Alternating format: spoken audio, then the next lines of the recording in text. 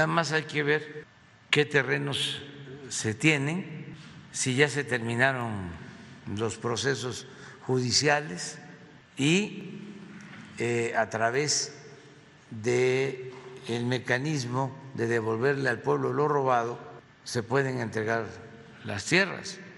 Ahora en Chiapas está el tianguis del bienestar, están llevando a las comunidades más pobres eh, zapatos, ropa, todo lo que se confisca por contrabando, que estaba aquí en bodegas, se está entregando a las comunidades más pobres.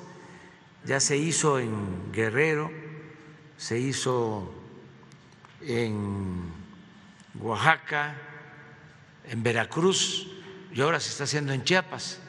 Entonces, eh, todo lo que se obtiene, que es de procedencia ilícita, eh, ya está en manos del gobierno, se le entrega a la gente más humilde.